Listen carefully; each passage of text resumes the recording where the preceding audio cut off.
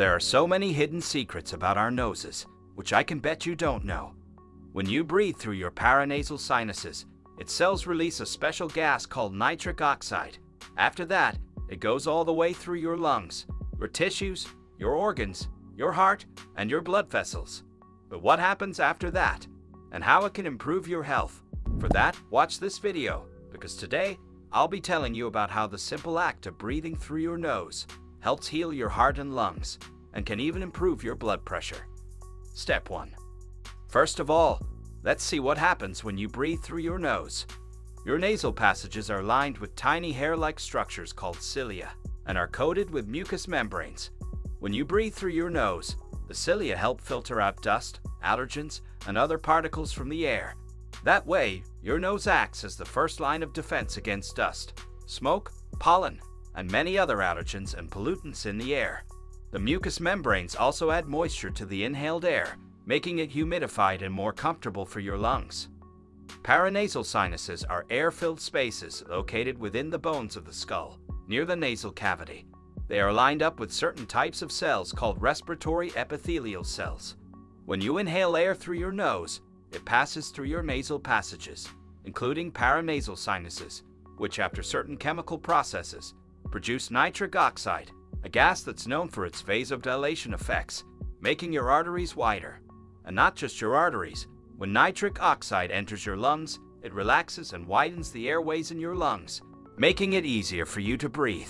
This process is scientifically known as bronchodilation and is particularly helpful for people with conditions like asthma and chronic obstructive pulmonary disease, because in these conditions, airways can constrict and cause difficulty breathing. And surprisingly, nitric oxide also has antimicrobial properties and can help protect your respiratory tract from bacteria that could cause respiratory infections.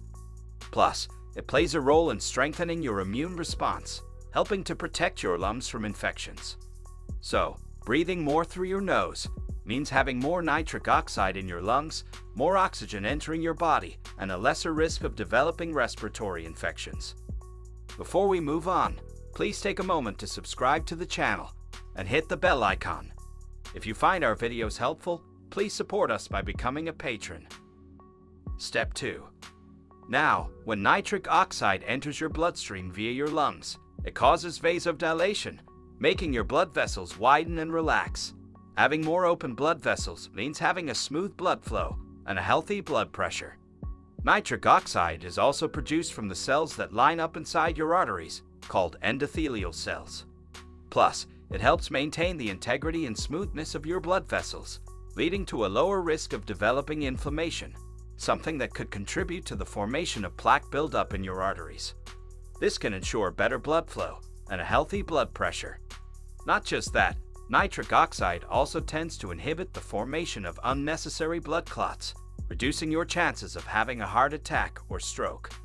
Nitric oxide also helps dilate the coronary arteries, which supply oxygen-rich blood to the heart muscle.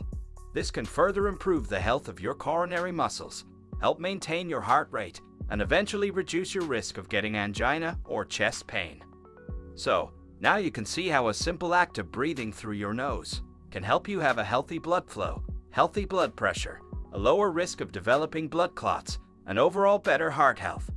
As a bonus, this dilation effect helps ensure that your brain receives enough blood and oxygen so it can stay healthy and work more efficiently. And surprisingly, nitric oxide is also involved in neurotransmission, which is the process by which your nerve cells communicate with each other. It acts as a signaling molecule in the brain, helping to transmit signals between nerve cells. Some studies even show that nitric oxide is linked to the processes related to memory and learning. In fact, Studies show that many people with Alzheimer's disease, Parkinson's disease, and even the ones who had strokes had lower nitric oxide levels. This could be because nitric oxide plays a role in synaptic plasticity, the ability of your nerve connections to strengthen or weaken in response to learning and experiences. In other words, nitric oxide can also help you learn quickly, remember things, and even make better decisions. So if you often find it difficult to focus, remember things, or make decisions. Practicing deep breathing exercises regularly can help you get better. Plus, if you ever feel down, or too stressed, simply breathing through your nose can instantly help you release that tension and feel calmer and more focused. Now just sit back or lie down, take a few deep breaths through your nose, and let the magic happen. Thank you for watching and subscribing to the channel. See you in the next video.